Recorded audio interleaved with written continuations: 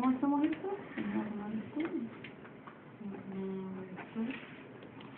Esto. Es...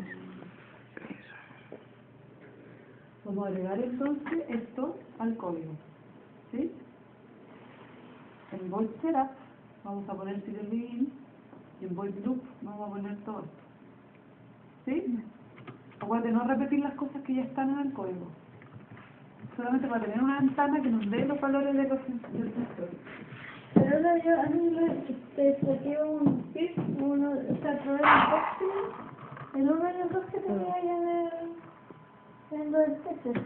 Pero no me funciona, el, el uno era más como complicado y estaba como con una falla de un asterisco, que al final no funcionaba si le borraba ese asterisco, que estaba como arriba. Pero este es más claro porque me dice int print 3.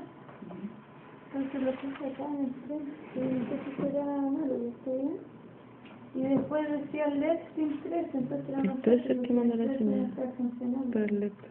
Mira, si le pones dos, ahí, Y esto no. ¿cómo se qué hace ¿Por qué? este, este cuando reseteo se me pone mal. Ah, sí, por lo menos que funciona. Sí. No, sí, claro, porque dando un impulso. Pero la idea es que aquí tendría que ser de presencia, ¿no es cierto? Estoy mezclando muchas cosas acá, a veces, déjame